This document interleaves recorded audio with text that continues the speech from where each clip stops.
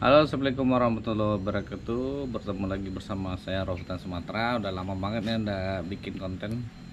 Hari ini saya bakal menunjukkan bagaimana cara memperbaiki ini Bu payung yang lepas ya.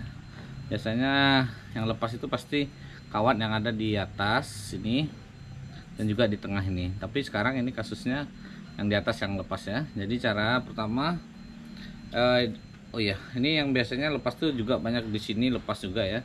Yang sambungan di sini, bubu payungnya, kemudian yang yang atas dan juga yang tengah.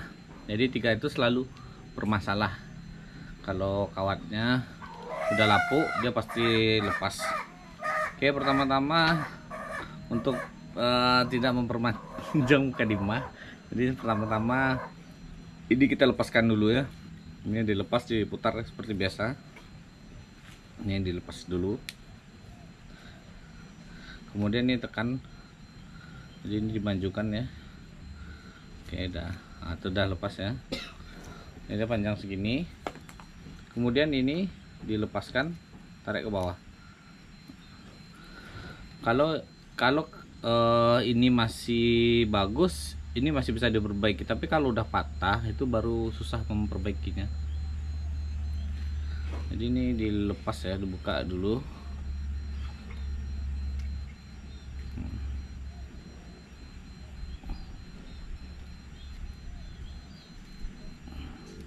Saya nggak kasih jeda ya tapi kecuali kalau kameranya bermasalah baru dia jeda tuh. udah kayak gini ya pokoknya dia harus semuanya harus dikeluarin dulu.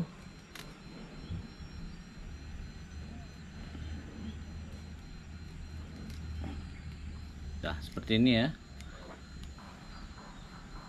Jadi ini kemudian ditarik ke bawah. Nah, ini dilepasin ke bawah dulu semua. Biasanya kalau yang masih baru ya masih baru tuh ada kabel T nya ya. Jadi kabel T nya dilepas dulu kalau nggak ada kabel T dia uh, bisa ditarik ke bawah aja. Ini ada ini udah nggak ada kabel T nya ya udah sering lepas gitu ya. Nah, kemudian ini seperti ini ya. Udah ini ditarik kan. Nah kemudian seperti ini tekniknya. Oh, saya gini kan ya. Oke ke bawah. Gitu ya kelihatannya. Nah pakai kedua kaki begini kan. Kemudian ditarik. Lepas ya. Oke udah lepas. Selanjutnya coba sebentar dulu setel kamera. Ini udah lepas ya.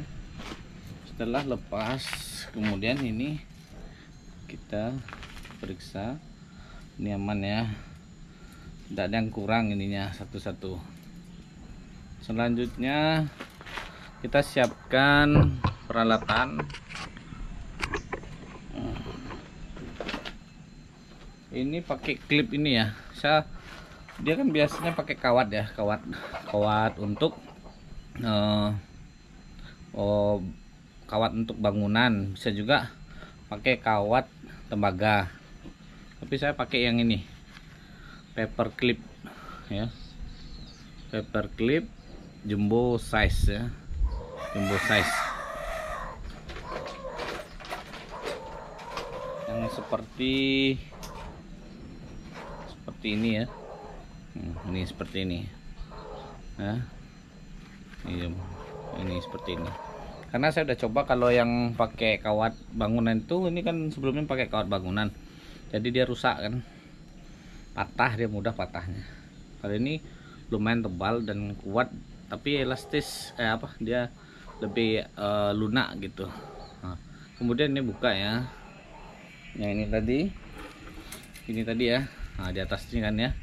Caranya gini. Nah ini.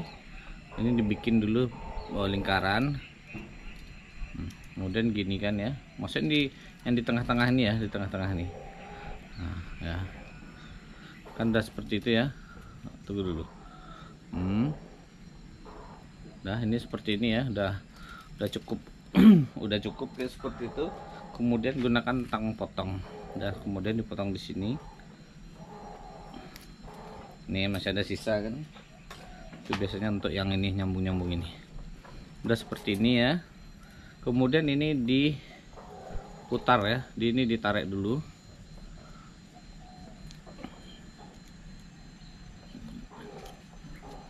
Ini kasih bengkok dikit seperti itu ya.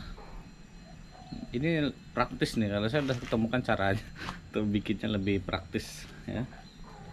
Kemudian ini digabungkan seperti ini ya. Nah, itu ya. Gabungkan diputar dulu dikit. Putar satu kali putar aja. Hmm. Hmm. udah itu seperti itu ya. Ini seperti ini ya. Kan? Jadi kawan yang di dalam itu jadi lengket di tengah-tengah jadinya ya.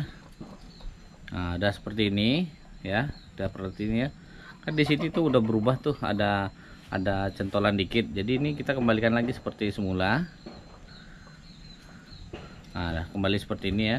Yang penting dia udah narik menarik itu. Jadi dia putar nih ya. Nah, dia bisa diputar sini ya. Bisa diputar kan? Putar bisa diputar sini. Nah kemudian cari yang ini yang ada bagian seperti yang bisa untuk kita menyimpan yang ini. Nah, nah di sini ya. Kan di sini sebenarnya ada seperti yang bisa untuk um, apa untuk penjepitan ke bawah. Jadi taruh dia di sisi paling terakhir gitu ya. Kemudian ini ambil ambil lagi di sini udah ambil. Ini ya ambil ini lagi masukin gimana ya? Saya ganti posisi kamera.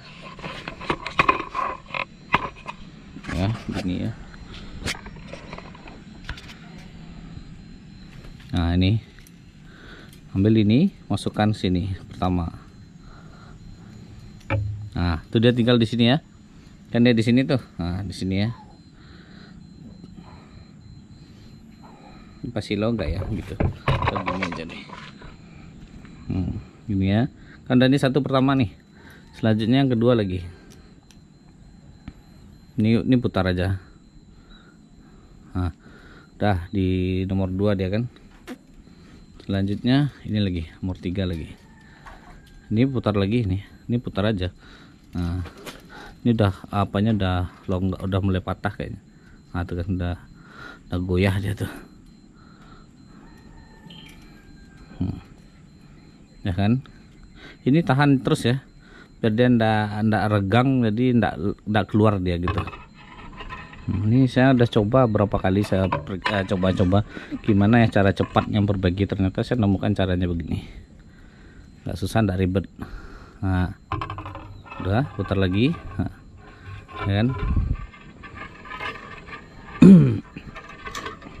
Karena saya pakai ini tiap hari kan kayak raciknya eh apa bubuk payung ini tiap hari jadi saya udah hafal nih saya udah coba gimana ya cara cepatnya. Nah dulu ribet aja ribet kalau udah rusak saya biarin aja. Susah soalnya kalau sekarang enggak gampang.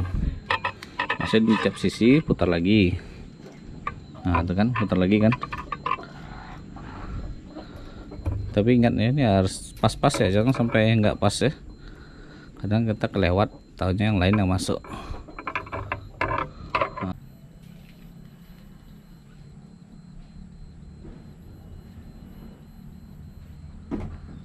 Oke, udah selesai nih teman-teman ya.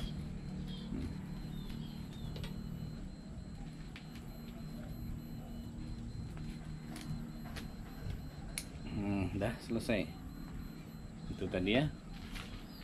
Hmm. Ini nanti paling dirapi-rapikan aja ya. Ini kan udah sesuai. Nah, ini kan belum pas sama oh lurusnya benang ya. Tapi sebenarnya menurut saya ini nggak masalah ya. nggak masalah ya kalau ini. Karena penting dia bisa buka lah. Bisa buka bisa masuk ke tangkapan kita. Jadi kalau mau sesuai ini juga nggak masalah ya. Nah, ini kalau sesuai ini ya.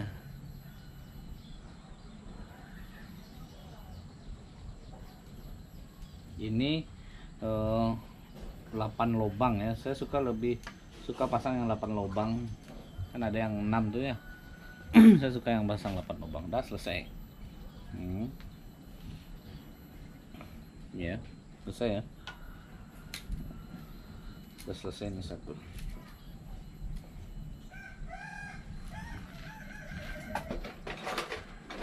Saya bilang kalau ini yang bermasalah misalnya ah, yang ini bermasalah nah baru itu yang jadi repot kalau ini. Udah patah saya belum bisa. Kalau ini patah saya belum tahu solusinya ya. Nih kalau ini patah belum tahu saya solusinya.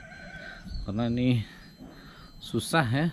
Di saya cari di tempat nah tanyain tempat yang jual-jual nih belum nggak ada yang jual terpisah ini. Makanya kalau itu udah patah ya kayak ini resikonya. Nggak bisa diapa-apain udah ini oke okay, itu aja ya teman-teman ya. Sampai jumpa lagi di video selanjutnya. Jangan lupa like dan subscribe. Karena biar tambah semangat. Saya terus terang nih uh, agak kurang semangat kalau posting-posting. Karena subscribe-nya dikit-dikit terus ya. Nambahnya satu-satu aja. Udah berapa tahun ya? Oke sampai jumpa. Assalamualaikum warahmatullahi wabarakatuh